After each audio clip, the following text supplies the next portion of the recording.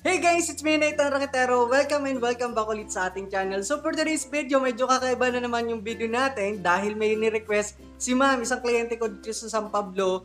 Ah, meron siyang request do sa mga gagawin nating Christmas decoration dito sa kanyang bahay. And ah, ah, yung picture na sinend niya sa akin ay gagawin natin. Pero gagawin nating may twist. Iibahin natin ng konti. Pero yung yari nung bakal, medyo nakakuha siya ng idea doon. And yun yung i-execute natin sa video na to. So kung interesado ka sa video na to, just keep on watching. At kung bago ka dito sa ating channel, huwag kalimutan mag-like, share, subscribe. At hit mo na yung bell button para lagi kang updated pag naglalabas tayo ng bagong videos.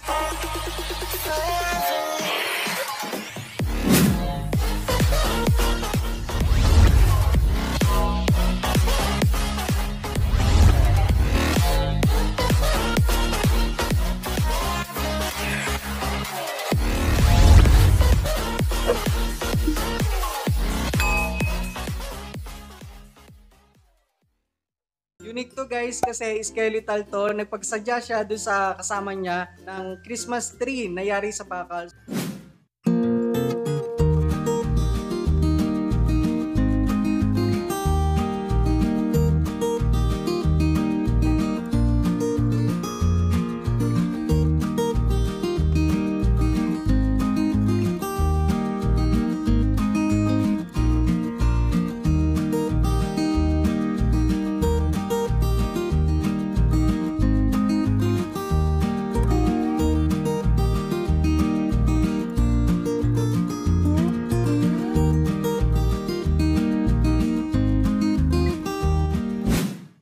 Yung mga branches ng ating uh, lumang Christmas tree dito sa uh, ating kliyente. So ito yung bubuuin natin. Yan yung attach natin para dito sa Christmas tree. And kapag start na ako guys, ito yung aking uh, unang step. Ayan, kita nyo na i- ano ko na lang yun. Ginawa ko na lang ito yung mga branch, yung stem. Ayan, itinali ko na lang yung branches or itong uh, needle fine dyan sa bakal. Yan, ganyan yung kanyang itsura. And tingnan natin guys kung ano yung magiging outcome ng ating 10 feet na Christmas tree.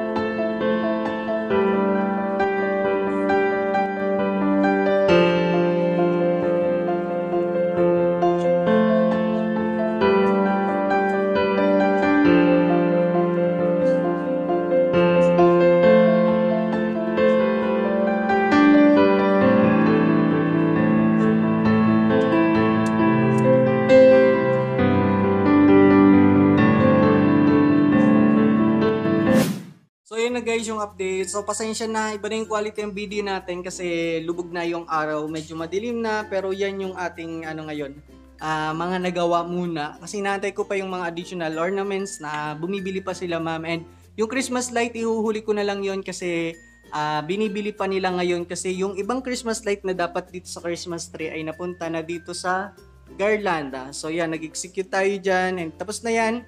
Pero lalagyan ko pa yun ng touch of ano, old rose. Yung ating ilalagay dyan, additional para mabuhay. Actually, ayaw ni ma'am ng madaming red pero kulang lang naman yan ng ornaments or yung mga spray leaves na kulay ano, old rose para mabuhay. And susunod yung motif nito dun sa ating Christmas tree. Actually, ito lang ay ano pa lang to, champagne at saka kulay white pa lang yung mga ornaments na nandyan. Mamaya ko pa lalagay dyan yung mga old rose, something gold, at medyo minimal na kulay red. Kasi yun yung gusto niyang touch. And by the way guys, natapos na ako dito. Ito naman yung aking arrangement para dyan sa centerpiece. Ayan, pina-retouch lang to sa akin ni ma'am kasi before ganyan yung kataas and uh, isa't kalahating dangkal lang yung kinalabasan niyan and uh, yan, okay naman yung kinalabasan. And lalagyan na lang natin yan ng balls mamaya. And momontage ko lahat guys sa inyo yung mga ginawa natin dito or yung matatapos natin dito. Pero ngayon ayan yung update. And lalagyan na lang natin yan ng Christmas light, mga balls at saka yung ribbon, ayan, ilalagay ko na yung mga ribbon. So Ayan, stay tuned lang kayo dyan para makita nyo yung outcome sa huling part ng video na to.